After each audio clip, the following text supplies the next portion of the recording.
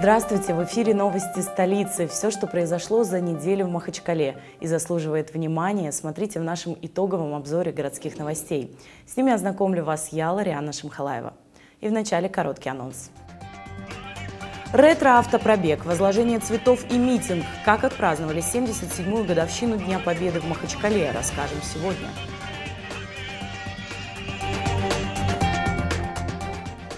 Выступление канатоходцев, розыгрыш путевок в Сочи и в Малый Хадж. Ежегодный конно-спортивный фестиваль также приурочили ко Дню Победы.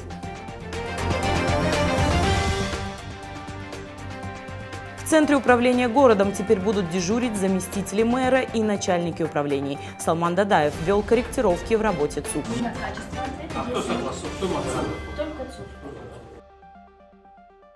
Торжественный митинг, посвященный Дню Победы, прошел в Махачкале. Все традиционно началось с праздника на Центральной площади. Волонтеры развернули копию Знамени Победы, студенты и горожане держали флаги и плакаты с поздравлениями. Выступая перед собравшимися, глава города Салман Дадаев поздравил ветеранов войны, горожан и гостей столицы с 77-й годовщиной Победы в Великой Отечественной войне. И сегодня, как никогда, мы понимаем актуальность того, как важно сберечь память, потому что мы в неоплатном долгу, мы всегда будем должны советскому солдату, который подарил нам это мирное небо. Уважаемые ветераны, дорогие махачкалинцы, гости, я вас всех поздравляю с этим великим днем, днем величия нашего народа. Мы будем помнить, мы будем благодарны. С праздником вас! Во главе легендарной «Волга М-21» с главными участниками торжественного митинга – ветеранами Великой Отечественной войны Ибрагим Пашой Садыковым, Юрием Петрухиным и Ахмед Наби Апашевым. Под аплодисменты и приветствия горожан ветераны доехали до парка Ленинского комсомола, где прошла церемония возложения цветов к могиле неизвестного солдата. Шествие бессмертного полка стартовало с проспекта Расула Гамзатова. Колонна прошла до пересечения с улицы Ливаневского и разделилась на два потока. Одна часть направилась к Родопскому бульвару, а вторая к Русскому драматическому театру имени Максима Горького, где прошел гала-концерт, посвященный Дню Победы. В Махачкале на ипподроме конно-спортивного клуба «Зебра» состоялись республиканские скачки, посвященные Дню Победы. Мероприятие собрало около трех тысяч человек. Посмотреть на зрелищное событие пришли члены республиканского правительства, представители силовых ведомств и руководства города. Все подробности в сюжете Хамзы Нурмагомедова. Лошади вовсю скачут к финишу. Самая длинная дистанция в 5200 метров. В республиканских скачках по случаю Дня Победы участвуют английская, чистокровная и арабо-хаутикинская пород. Всего 5 заездов.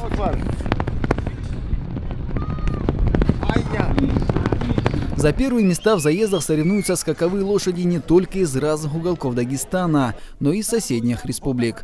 Очень красивые скачки проходят сегодня в Республике Дагестан. Ну, такое, такое мероприятие, можно сказать, как, в Дубае. Очень много людей, очень много любителей лошадей.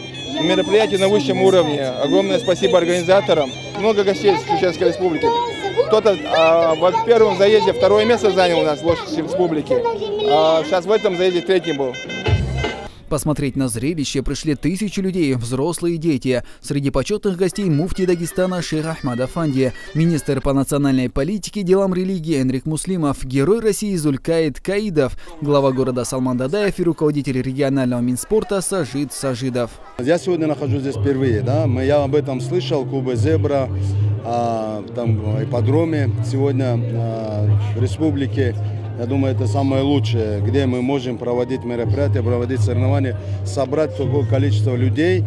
И я вижу уже здесь а, как бы реконструкция или стройка, она не закончена, она продолжается. И на сегодняшний день такое самое, можно сказать, для досуга людей хорошее место. В Дагестане должно быть э, спорт именно связанный с лошадьми. И мы заслуживаем такого прекрасного, хорошего ипподрома.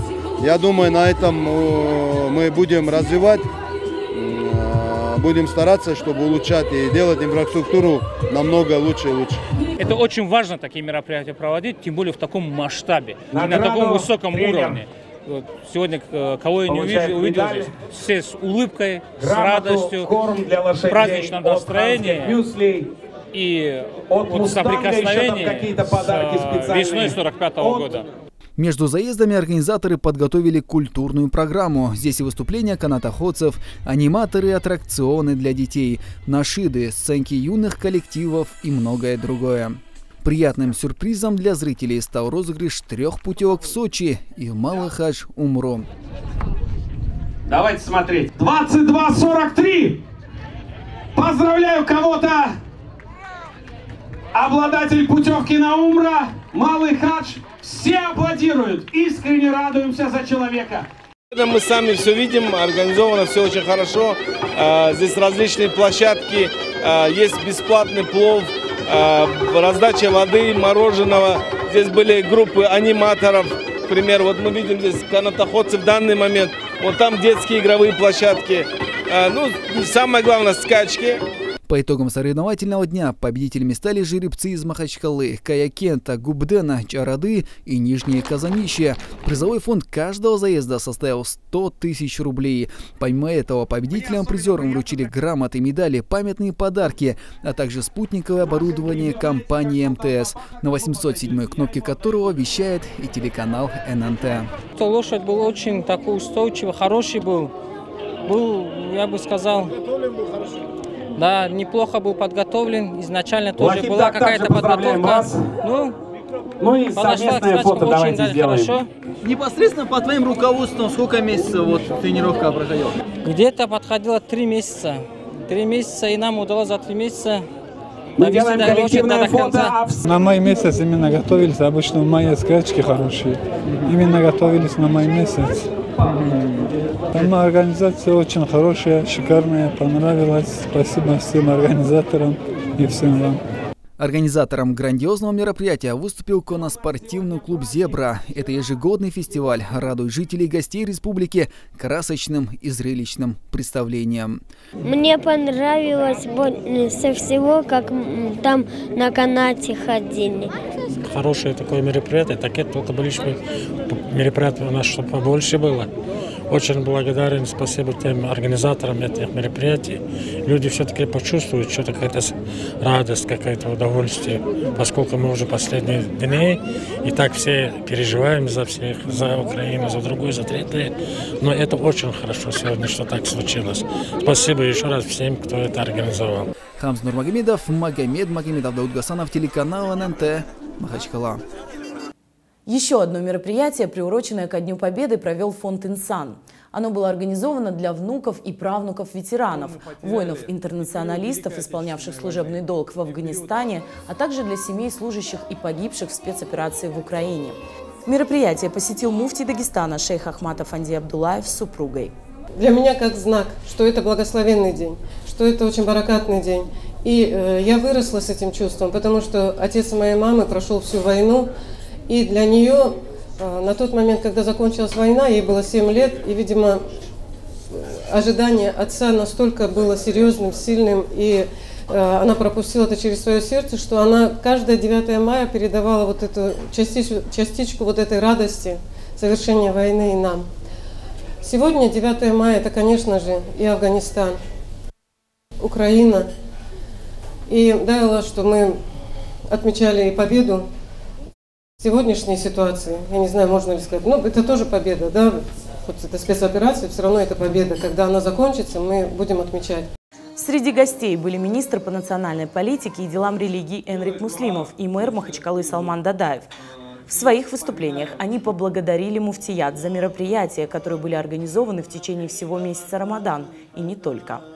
Каждый год, 77 лет, по, без какого-то призыва а именно по именно призыву сердца, без обязалого какого-то, именно по призыву сердца, мы встаем и идем на центральные площади наших городов по всей стране. Идем потом к памятнику неизвестному солдату, к вечному огню и с глубокой благодарностью возлагаем цветы героям-освободителям. И вечная память и слава всем героям и той войны, и этой специальной военной операции с праздником вас. Я хотел бы еще маленькое такое добавление сделать. огромную вот эту патриотическую работу, которую надо вести.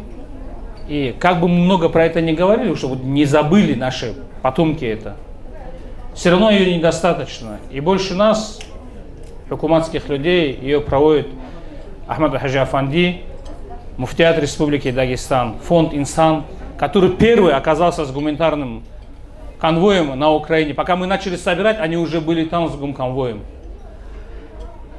И вот те мероприятия, вот, вчера вроде бы как праздник состоялся, и вроде бы как мы его все ждали, готовились к этому празднику. Он отлично вчера пошел, все махачкалинцы были прям довольны, даже после солита они хотели расходиться.